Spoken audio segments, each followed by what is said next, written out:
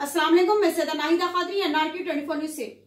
बताया गया है कि गायों से भरा हुआ ट्रक शामिर पेट जा रहा था और अचानक से एमएलए राजा सिंह और उनके आदमियों ने इस गायों से भरे हुए ट्रक को शेरलिंगम पल्ली पर पकड़ लिया।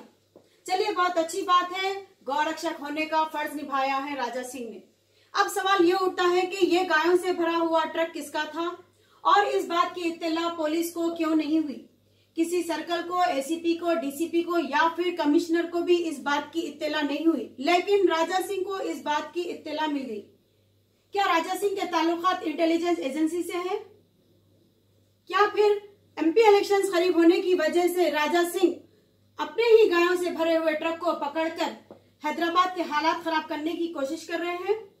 जबकि हिंदुस्तान के कानून ने गाय काटने से मना कर दिया है और बीफ का कारोबार करने वाले लोग भी गाय नहीं काट रहे हैं। पुलिस को चाहिए कि इस गायों से भरे हुए ट्रक पर सख्त से सख्त कार्रवाई करे। इसी की एक रिपोर्ट आप देख सकते हैं।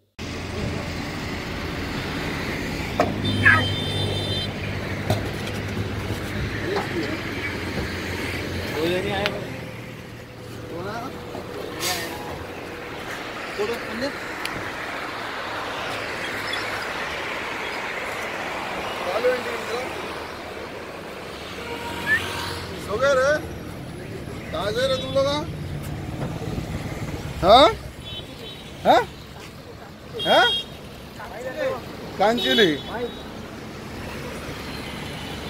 क्या नाम तेरा? हाँ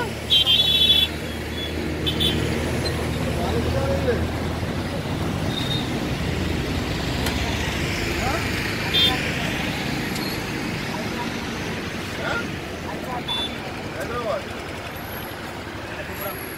सारा वेंकटम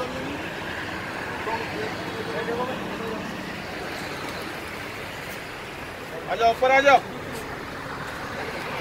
इसी के साथ मैं सैदा नाहिदा कादरी एनआरक्यू 24 न्यूज़ से। इसी तरह मैं आपके सामने सच्चाई दिखाते रहूँगी। इंतज़ार करिए मेरे अगले न्यूज़ का। मेरे इस न्यूज़ के पेज को लाइक करिए यूट्यूब पे सब्सक्राइब करिए। जय हिंद।